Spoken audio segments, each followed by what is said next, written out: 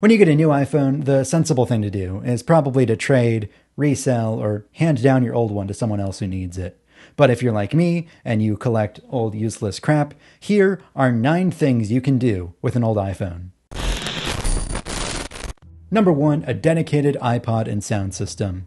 Even a HomePod mini is a little pricey at $99, but if you have an old iPhone, you can convert it into a room filling speaker system for a fraction of the price provided it's not a huge room. You see, there's a category of cheap speakers that work just like wireless chargers. There's nothing to plug in, nothing to pair to over Bluetooth. You just carefully position your phone on top of it, and suddenly it uses induction to amplify the sound to two or three times as loud with much broader sound and bass. I have one of these sitting in my bathroom. I just sit my phone on top of it, and suddenly it's loud enough to hear with a running shower from across the room. This one is only $15 on Amazon, or if you want something slightly nicer looking, this one with a wood finish is only $25 they're really cheap. So you sit one of these on a kitchen counter or a living room side table with an iPhone on top of it, plugged in.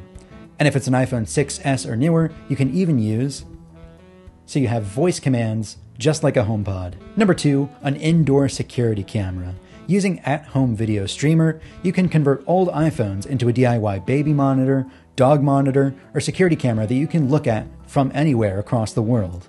And it runs on devices as old as the iPhone 5S or the original iPad Air. You install the streaming app on your old phone and the viewer app on your new phone, you sign in with a username and password. You can give each camera its own username and password as well, and you can monitor all of them from inside the app. To keep it mounted, you can pick up this adjustable tripod that fits any model of iPhone for only $45 on the Cult of Mac store. You can pick up this super wide angle lens with a universal screw on attachment clip that fits any model of iPhone so you can see the entire room at once with this fisheye view. Number three, you can convert your old iPhone into a dedicated dumb phone. If you're constantly being pulled away from your work by the barrage of text messages, notifications, alerts, you can use your old iPhone as a secondary phone that you switch to with fewer distractions. You know, George R. R. Martin writes all of his novels on a 30 year old PC running MS DOS. That might also be why he doesn't put out very many novels. You sign out of iCloud, you turn off iMessage so you don't get any more texts or calls.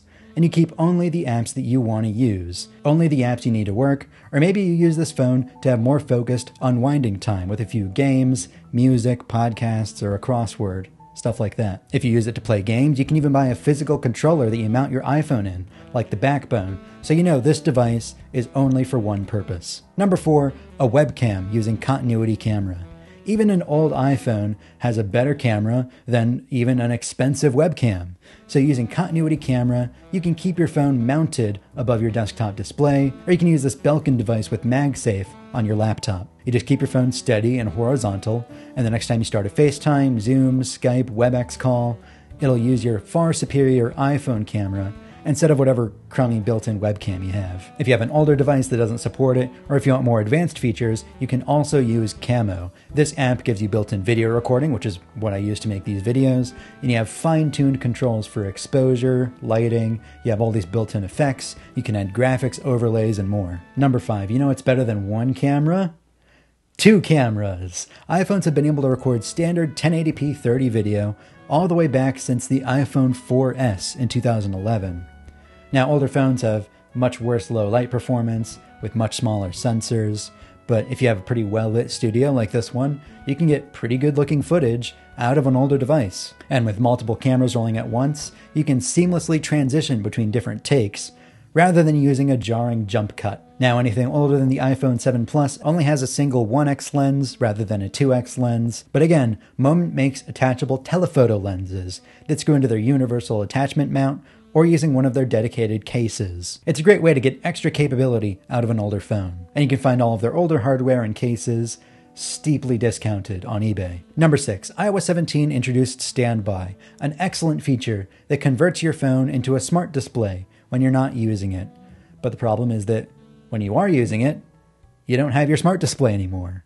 If your old phone is still new enough to run iOS 17, that's perfect because you can have the best of both worlds. Otherwise, there are still a good number of DIY alternatives. You can keep an iPhone mounted on the wall by your door with the weather app open, so you can see if you need to bring a jacket. You can make it a digital clock using an app like Today Clock, or alarm clock for me. You can mount it on the wall with your calendar open. So wherever you get ready for the day, you can see what's coming up ahead. If you search online, you can find 3D printed stands for basically every iPhone ever made.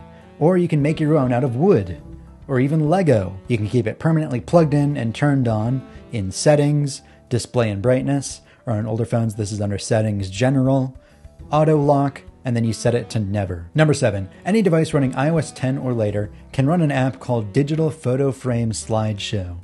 And with iCloud Photos enabled, you can convert your old phone into a digital picture frame that'll automatically update with all your new shots as you take them on your other devices. There are loads of options for customizing your slideshow, which album it pulls pictures from, how long it shows each one, the transition between pictures, whether it does pictures and videos with sound, loads of customization options. You can get it on the App Store for $9.99 yearly or $29.99 to unlock forever. Number 8. If you have old games from your App Store purchase history from 10 or 15 years ago, they won't run on your new phone anymore. You can reinstall them on an old phone. From the App Store, you tap on your profile icon in the top right, or on an older device, you go to the Updates tab, you hit Purchase, and you can select Not on this iPhone. And from here, you can scroll way, way, way down to the bottom and anything with a blue icon can be downloaded again.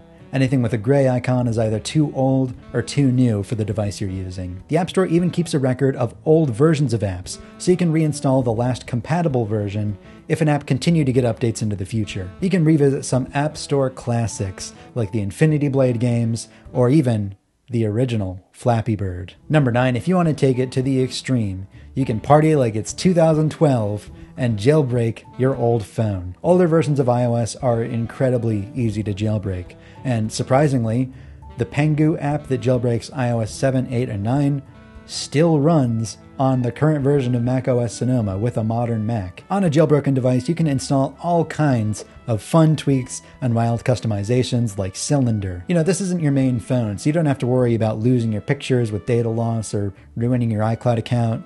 An older device might not even support iCloud. Unfortunately, as the years go on, it's getting increasingly hard to install new customizations and tweaks. The biggest Cydia repo is shutting down their purchase and payment processing system, and a lot of the popular alternative repos that rehosted a lot of these tweaks for free are no longer online. But there's still a lot you can do. Back in the day, I figured out how to download pirated apps like iPhoto, GarageBand, and iMovie back when they were actually paid apps entirely on my phone for free. I will leave that as an exercise to the readers to figure out due to various legal reasons. But if you want to rediscover what some of these apps were like that you never got a chance to use, a jailbroken iPhone might at least be a fun afternoon. So, those are all the best things you can do with an old iPhone. Remember to like and subscribe. Links to everything I talked about, all the apps, all the accessories you can buy, are in the video description. I'm D. Griffin Jones with Cult of Mac.